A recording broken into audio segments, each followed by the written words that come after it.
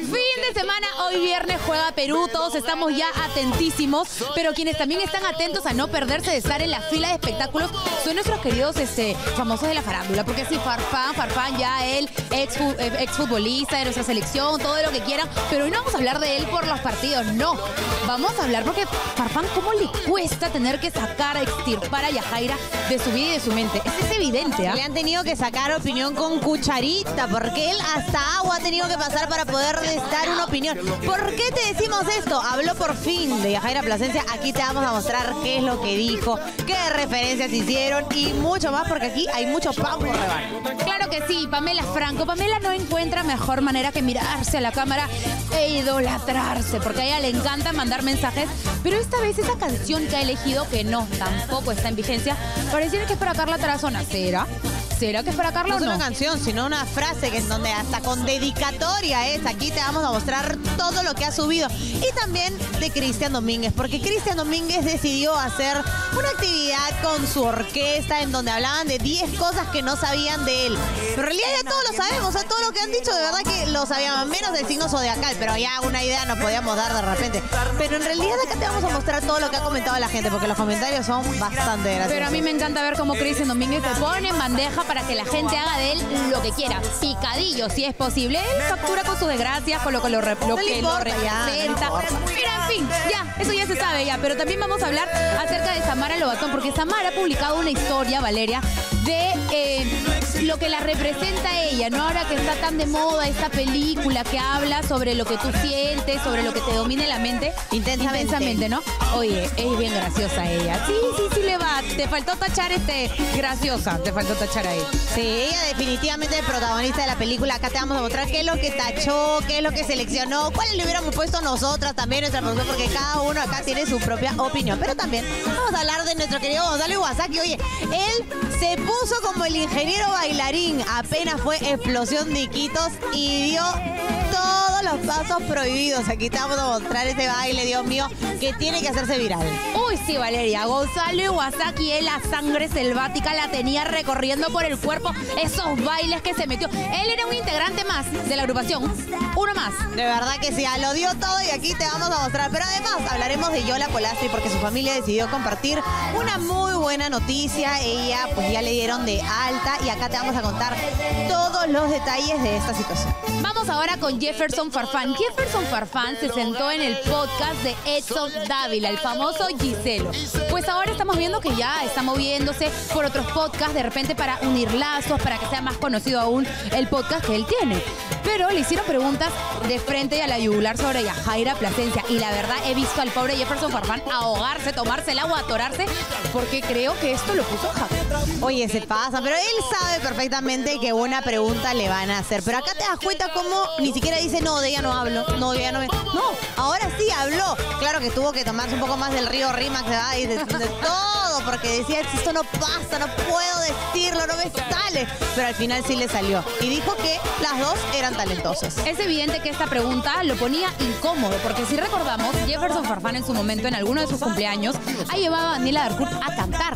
Eso quiere decir que tiene afinidad, que le gusta a Daniela Darcourt. Pero por otro lado, Jefferson Farfán, a esta rubia debilidad, es decir, la Yaja, la ha perseguido desde que ella estaba en Son Tentación. Le gustaba el show que ella daba, la manera en cómo cantaba, la manera en cómo bailaba. Entonces, es evidente que a él en su momento le encantaba Yajaira al punto que ha sido su pareja. Es obvio que gusto por Yajaira, musicalmente hablando, tiene. Es obvio. Bueno, no, no sabemos. Me imagino que porque le gusta el género, obviamente puede tener algún tipo de afinidad también por las canciones de Yajaira. No sé si lo vaya a escuchar en el carro, no lo sé. Pero yo creo que igual él, independientemente de le guste, no le guste una, la otra, lo que sea, él no se iba a lanzar a decir Daniela Arcourt ni a decir Yajaira Plasencia, porque él sabía perfectamente la ola de titulares que se iban a armar si Jefferson Marván hablaba de Daniela Arcourt. Si solamente cuando el Cuto habló de que Daniela era mucho mejor, que tenía talento, que a Yajaira la mandaba a clase de canto, se volvió, escucha, una bomba. Un escándalo. Un escándalo polémico. Imagínate si lo decía Fernando. No, era obvio, era obvio que esto iba a traer consecuencias, ¿no? Entonces, él también en su momento ha dicho que ya no quiere la polémica, al menos entre Yajaira y Jefferson hemos visto que sí, últimamente los dos han hablado más de la cuenta de ambos porque nunca se les había escuchado hablar de ellos, pero parece que en estos momentos les está funcionando o pareciera que entre ellos no hay acuerdos firmados de confidencialidad o de que no pueden hablar el uno del otro y cuando hablan de ellos, al menos Yajaira lo ha hecho con una manera respetuosa, ha dicho que todavía le tiene cariño. estarán buscando tener un acercamiento No sé, por eso te digo, ahora que su bobito, su bobito está así volviendo a latir. No sé, por eso te digo, ahora que están hablando el uno del otro, no sé si esto los vuelve a unir, no sé si esto haga que Jefferson Farfán de repente diga, bueno, ya, ya pasó el tiempo, no sé, Jair Mendoza dirá, pucha madre, yo he sido el siguiente, pero parece que no hice nada por ahí, fue un ave de pasto nomás.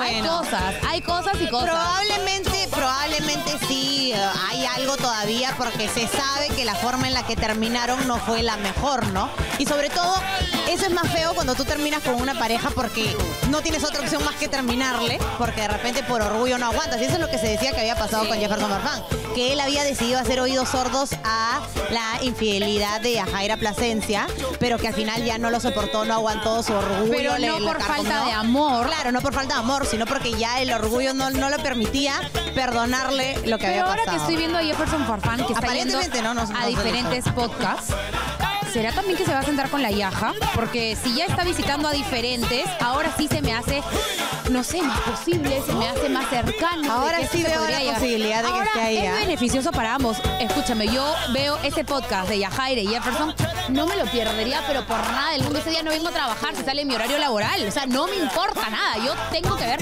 saber qué se dice, porque claro, ahí muchas cosas quedaron en el aire. Ellos dos fueron muy reservados con sus comentarios y lo único que han dicho públicamente es, sí, le estimo, le tengo cariño, na- nada más. Nunca contaron el por qué. Entonces, obvio que es curiosidad para la gente, ¿no? Es curiosidad para. Definitivamente. Y yo sí voy a ser bien honesta. Yo era una de las que decía que no veía ni por acá la posibilidad de que él se siente. Pero ahora sí lo veo cercano porque parece que están haciendo una gira con Roberto Bizasola, o sea, para promocionar más el podcast. No lo sé, aunque bien, ya eh, les está yendo excelente. Muy posiblemente se puedan sentar acá, No en el lo centro, sé. este, acá en el centro comercial les podemos poner unas butacas y nos sentamos a los podcasts. ¿ah? Pongo el micro así, lo que ustedes quieran. Yo organizo Claro. todo, tengo mis cámaras, mis luces. Vengan acá y también conversamos. Nos encantaría. Pero eso no ha sido lo único de lo que han conversado acerca de la yaja, sino que cuando hacen la pregunta Valeria así de rubias o morenas, ahí sí el bebé, yo creo que, uh, Dios mío, voló. Le preguntan, ¿rubias o morenas? Y él dice, ah, rubias, rubias, rubias. Primero se ríe y luego dice rubias, rubias. Y obviamente lo decimos por referencia de Yajaira Plasencia. Cuando él la conoció, estaba rubia. Obviamente rubia rubia que con- nunca. Obviamente rubia con su plata. No, no, no vamos a hacer este acá este mentiroso. Era rubia con su plata. Pero igual rubia al fin y al cabo. Entonces, a él le gustaba, pues de repente, este, este color de cabello. Y la yaja se mantiene rubia. ¿no? Aunque se ha puesto ya más morena, más No, chocolate. ¿sabes qué pasa? Es que ahorita. antes ella tenía pintado el pelo amarillo Sí, desde ella acá. era amarillo, sí. En buena hora ella tuvo un asesor tal vez que le dijo a mi reina, no, eso no va. Entonces vino a Mona Lisa Salón acá en Plaza Norte y le dijeron, no, mi reina, vamos a hacer algo un poco que vaya más con tu estilo, con tu personalidad. Y como ahora están de moda los contornos, entonces está, está los cenizos. Tiene una iluminación, unas iluminaciones así, no está completamente rubia, porque ya obviamente pues en ese Pero entonces no, no le queda, pero mantiene el toque dorado y obviamente pues a Jefferson Farfán parece que le llaman la atención mucho las rubias. No sé si su expareja o la mamá de su, de su hija, Todas creo que son pelo negro. morenas, ¿no? Morenas, así es, Sí, morena. son cabello La última rubia en su vida, al menos conocida, ha sido Yajaira Plasencia. A mí se me hace un mensaje claro para Yajaira. O chicas, las que Hola, hola. ¿Cómo, cómo se llama la con la que se estaba peleando? La nueva, la, la supuesta nueva saliente. Ella no es también Tienen media rubia. nombres que no, se me, no me los logro grabar, pero no, no son rubias, tienen el cabello oscuro. Es un mensaje claro, chicas. Yo que ustedes vengo a Mona Lisa Salón en el nivel de Plaza Norte y me hago un contorno, un balayage, me aclaro el cabello para que el Jefferson Farfán tenga sus sueños cumplidos. No, no, no, por favor, no le hagan caso. No cambien por nadie, menos por Jefferson Farfán, por favor. ¿ya? Si le gusta su- tu pelo el marrón, quédate con el pelo marrón, por favor. No hagan eso, no hagan eso. Y aparte bien asesoradas, ¿no? Porque hay algunas personas que sí Pero por se eso- pintan el pelo rubio. Uy, no, no. Ay, pero la. Valeria le sacó la raíz cuadrada al tinte, por eso estoy diciendo que vengan a Mona Lisa y que ahí las asesoren, un balayage, un contorno. Por supuesto, pero bueno, vamos a dejar a Farfán de lado y vamos con Pamela Franco, porque Pamela Franco, ella ahora sí dijo, "Mm, yo quiero sacar la verdadera indirecta, la verdadera metralleta.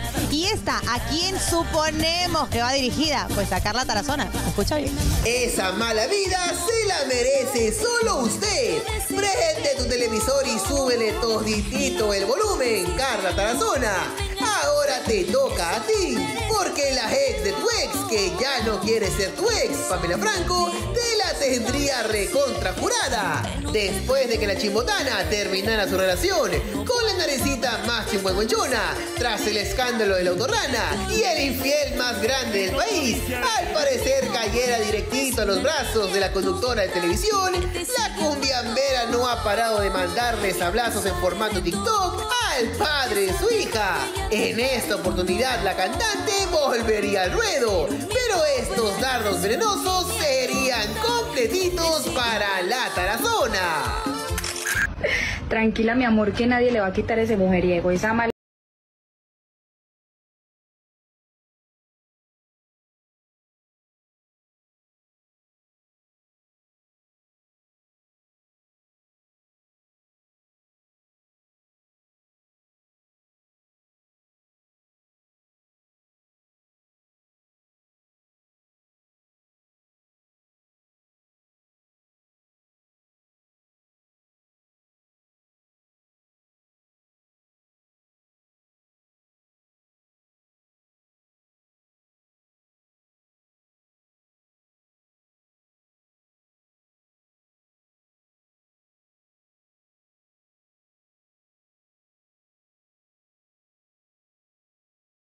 Nadie se merece a ese mujeriego. Esa mala vida se la merece.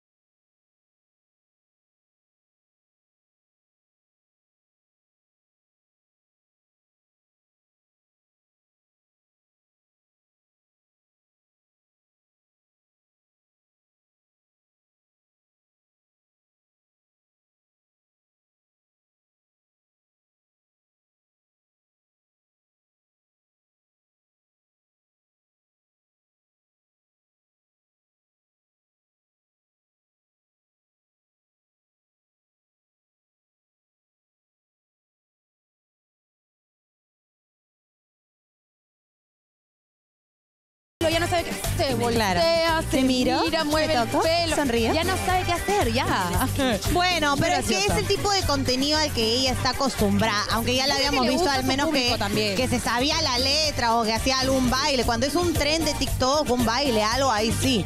Pero acá simplemente puso play y ella, eh, grabar y empezó este, a hacer Bueno, su, es su que danza. Pamela está regia, está guapa. Bueno, sí, claro. Le gusta mirarse ante la cámara y mostrarle a su público. Y tiene el derecho de subir todo lo que quiera, tiene el derecho de subir todo, pero no puede pretender que la gente no piense que todas esas indirectas tienen nombre y apellido. Ella ya ha dicho ya que esto es puro contenido, que ella no se lo dedica a nadie. pues. Mi reina, repítetelo hasta que te lo creas, porque no te lo cree nadie.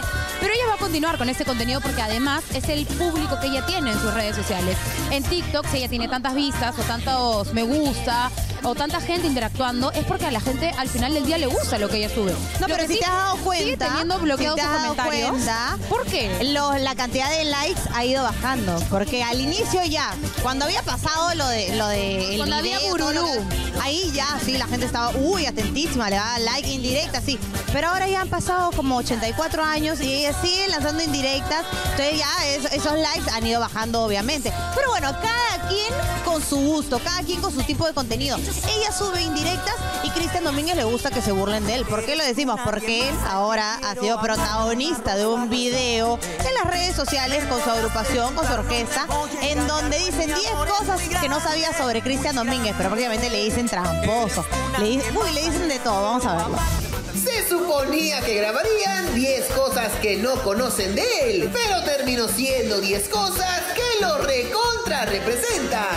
Así como lo escucha, la naricita más chingüengüenchona nuevamente es parte de nuestra pauta televisiva. Al dueño del auto rana le encanta el doble sentido y quedar como el machote para generar vistas en sus redes.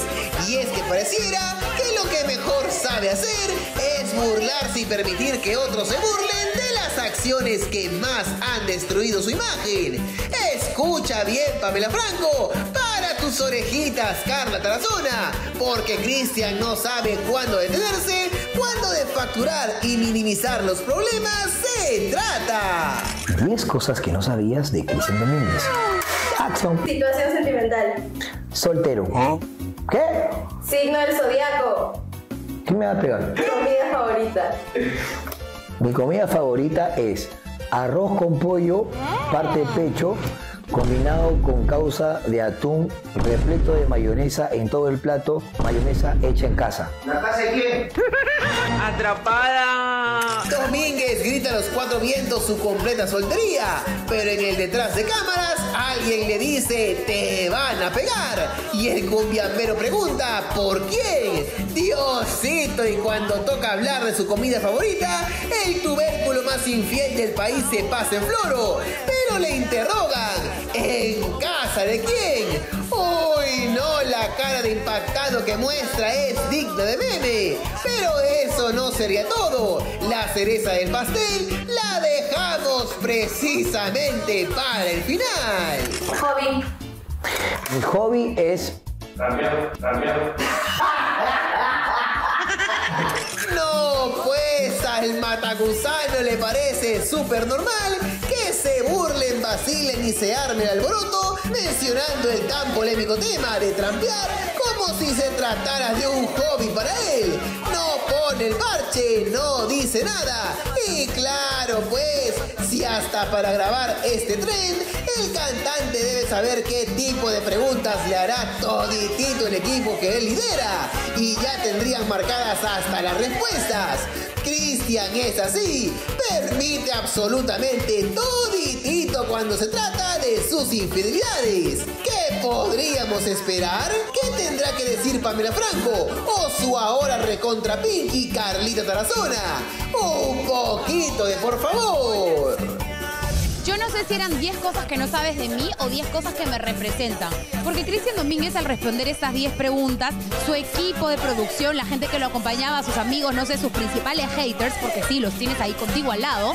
Valeria, mientras él daba sus, sus respuestas, de fondo le gritaban cosas que evidentemente han dejado que si a él le molestaran, él hubiera dicho, no, de ninguna manera me sacas Obvio. intentando limpiar mi imagen y ustedes me gritan que mi hobby favorito es trampear. Escúchame, ¿Cómo va a ser posible? pero si después de que se ha grabado frente a la cómo se movía para hacer la publicidad, eh, ya no le importa absolutamente nada. O sea, esto ya es un chancay de 20, o sea, no, no le molesta, no le, no le mueve ni un pelo.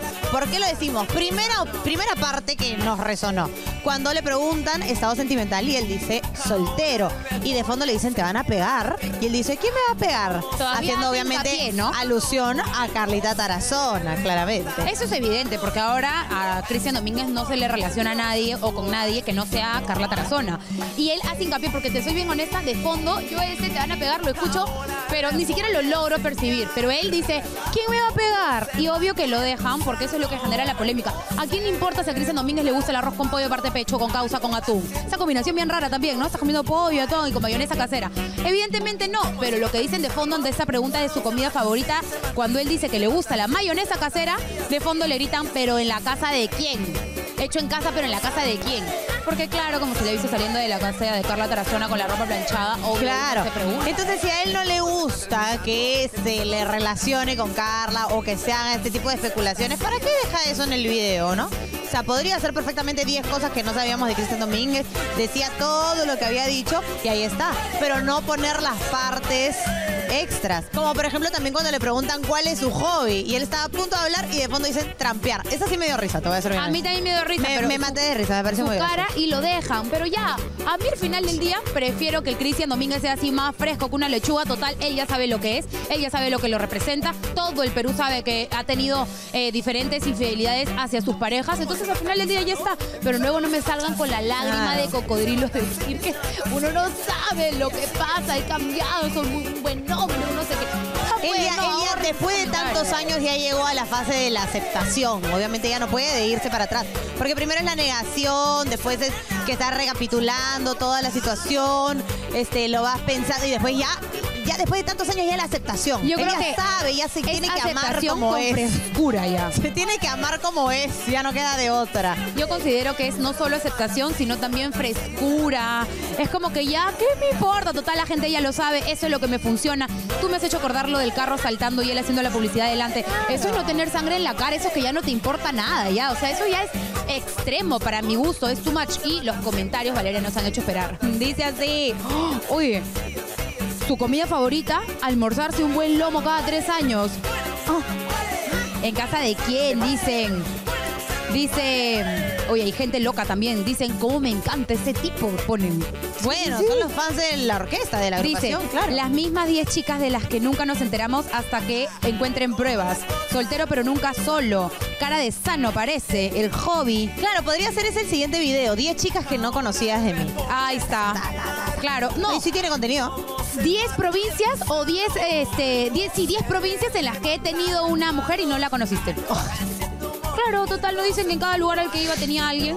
Bueno, pero ahí hay algunas ideas de contenido para poder alimentarlo, porque de verdad, honestamente, no tiene nada de malo el contenido que lugar. no tiene nada de malo el contenido que quiere subir, todo lo que quieras, porque al final son estrategias de marketing de ellos, de la agrupación, porque eso no es algo orgánico, ellos lo han planeado, sabían perfectamente que alguien de fondo iba a hacer estos comentarios, Cristian Domínguez que iba a reaccionar, de repente no lo de trampear, porque eso se vio que, que lo agarraron frío y se rió él también, pero de ahí todo lo demás estaba ya planeadito. Cualquier él- cosa con la que él no hubiera estado de Claro. acuerdo, estamos convencidas de que no hubiera salido. Pero Entonces, es evidente que él dio su aprobación. El tema acá no es que grabe esos videos, el tema acá es que después se arañan, se atacan, se molestan cuando la gente empieza a especular o cuando la gente continúa con los rumores de que podría tener algo con Carla o que algo podría estar pasando por ahí, ¿no? Como o cuando dicen, la "No, gente nada que ver". o cuando la gente se ríe del tema, cuando la gente se burla de la situación. A mí me encantaría un contenido representando, no sé, 10 lugares, tal vez 10 provincias,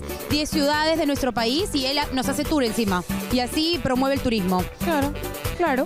O sea, al final es su Cada contenido, quien. ¿no? No tiene nada de malo. El problema es después cuando se hace el que él le afecta, le molesta, cuando él mismo es el que promueve todo este tipo de comentarios, ¿no? Pero bueno, Cada quien al final del día. Vamos ahora con Samara. ¿Qué ha hecho Samara Valeria? Bueno, Samara decidió compartir. ¿Han visto estas plantillas de las historias de Instagram que están bien famosas? Bueno, también está muy famosa la película Intensamente, en donde habla acerca de las emociones. Y ella decidió usar una plantilla en donde tenía que elegir tres, nomás tres de las emociones que la representan. ¿Y cuál creen que eligió? Miren, Ira está de todas maneras. Ira está marcado. O furia, ¿es ira o furia? Furia. Eligió furia, eligió ansiedad y eligió alegría. Primero, antes que dar mi comentario, voy a decirles que pueden venir a ver la película en Plaza Norte y Mall del Sur, que la verdad está buenísima. Y voy a continuar. Yo no sé si Samara eligió bien. Porque yo creo que por acá le faltó elegir algunas otras, ¿no? Samara nos ha demostrado que con la furia, sí, con esa furia que ella tiene, aventaba toda la ropa, zapato incluido y le caía hasta la O sea, mamá furia era obvio. Si no marcaba furia, ahí sí era pues Samara. no, La furia tenía que no la estar. Te la damos. Sí, es así. Luego la ansiedad, sí pues, esa ansiedad que hemos visto de ella por tener el celular del Brian, arranchárselo, patada, mordida.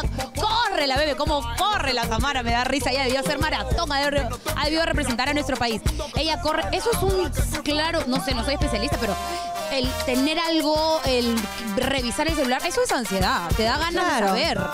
Y además, por obviamente, pues, obvias razones de la prensa, lo expuesta que está emparando de todo, de hecho, le debe generar bastante ansiedad, ¿no? Pero ella marca alegría y nadie duda de que puedas tener mucha alegría, obviamente, pues, ¿no? Al final son las emociones que a ella, que ella considera que la representan.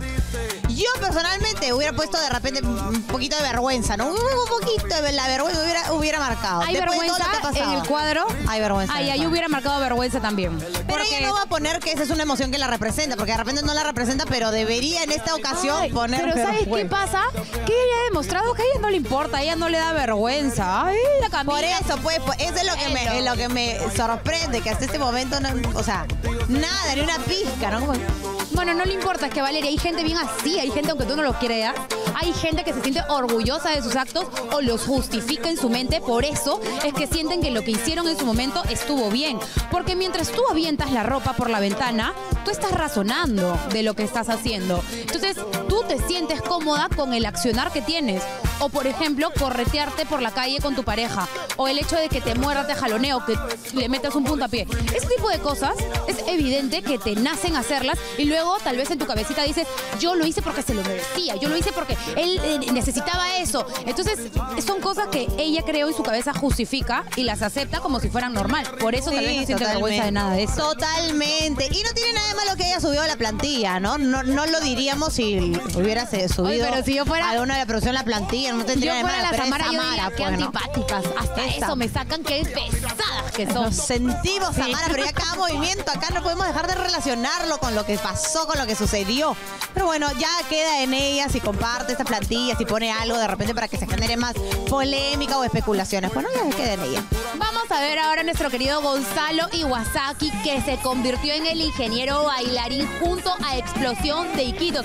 Él decidió mover sus mejores pasos, el hombro intentó seguirle el ritmo a las chicas. De verdad que eso ha sido súper gracioso. Vamos a verlo.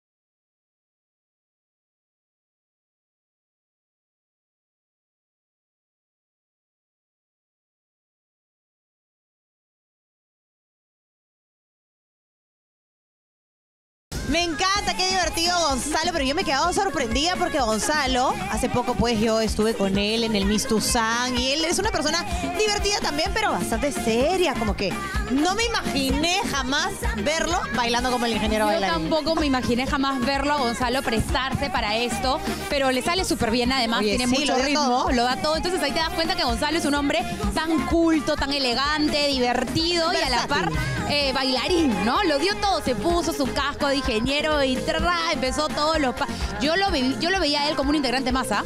Yo lo veía a Claro. Gonzalo, él lo quería dar todo, quería irse de gira con Explosión de Iquitos. Claro, y es que, bueno, obviamente sabemos que el ingeniero bailarín es un personaje que se volvió muy popular justo cuando esta canción también salió a flote, ¿no? Cuando también la lanzaron a Explosión de Fue Iquitos. parte de, de la manera en cómo Fue parte del ¿no? tren, junto con Lou Chulú y muchos otros personajes que nacieron a raíz de, de esta canción. Pero obviamente fue muy divertido verlo a Gonzalo dando todos los pasos, se iba para abajo, agachaba la cabeza. Me encantó. A mí también me 10 encantó. puntos, o sea. Pero claro que no solo ves musicales, sino también ves todo lo que está pasando en la actualidad, todas las notas informativas, toda la noticia que pasa. Y esto es al mediodía en Willax Noticias con Gonzalo Gonzalo Iwasaki y Maricel Linares. Ahí los extraño. Sí, un beso para ellos. De verdad que nos han hecho matar de risa con esa, con esa presentación de ayer de Gonzalo Iwasaki. Pero vamos a cambiar de tema y vamos con Yola Polastri, porque su familia decidió lanzar un comunicado en donde comentaban que ella ya había sido dada de alta. Así es, en redes sociales, en las redes de Yola exactamente, publicaron lo siguiente. Comunicado, señores de la prensa, burbujitas, club de fans, amigos todos. Los saludamos cordialmente e informamos que Yola Polastri ha recibido el alta médica, pero aún se encuentra delicada de salud. La familia les agradece el inmenso cariño demostrado en este difícil momento y les pedimos que sigan orando. Atentamente, familia Polastri. ¿Esto qué quiere decir? Que la familia tiene el dominio de las redes sociales de Yola en estos momentos y ante la preocupación masiva de toda la prensa, de amigos, de, ser- de personas que tal vez no han podido llegar a tener más información, sobre todo un club de fans que ella tiene que es tan fuerte y grande, porque ha habido mucho hermetismo en el tema de la salud de Yola Polastri.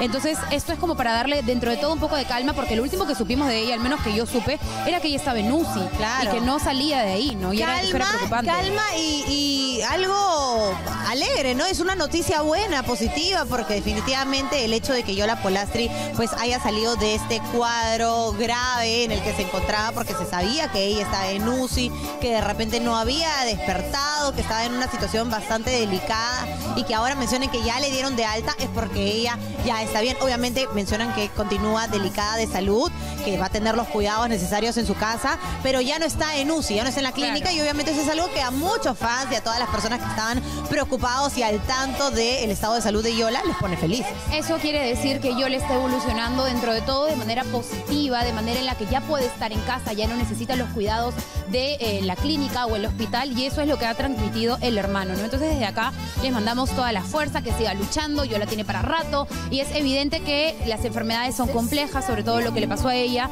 pero vemos que tiene todas las ganas de luchar y de quedarse con nosotros. Totalmente, pero tenemos algo muy importante que contarte, porque seguro a ti te ha pasado que ves tu cabello y de repente lo ves un poco esponjoso, lo ves pajoso también, lo ves como sin vida. Y esto es porque le falta hidratación. Por eso, Mona Lisa Salón, te vamos a mostrar el tratamiento que necesitas.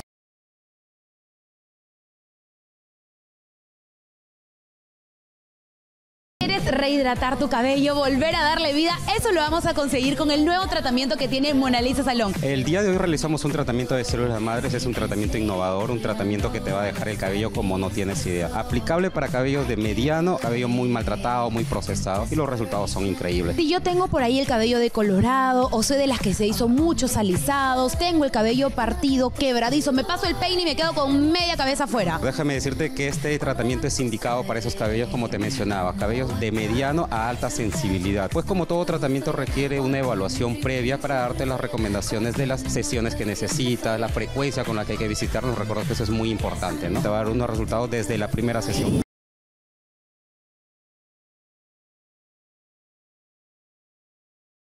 ¿Cuántos pasos son para aplicar? El tratamiento tiene tres pasos. Tiene lo que es el concentrado, las células madres como tal. Sobre eso se aplica el multiplicador, que es el segundo paso. Y por último, una mascarilla, un producto en crema que se mezclan los tres y se aplican en el cabello recién lavado. Ese tratamiento lleva calor, eso es súper importante. Es un tratamiento exclusivo de peluquería, eso cabe recalcar. No es algo que tú lo vas a hacer en casa. Pero esto no es un alisado, ¿verdad? No es un permanente. No es un tratamiento que vaya a modificar la estructura del cabello, todo lo contrario. Función principal de ese tratamiento es nutrir, hidratar y reparar el Y miren ese resultado, de verdad que quedó fabuloso. Si tú tienes el mismo problema, quieres rehidratar tu cabello, en Mona Lisa lo puedes conseguir.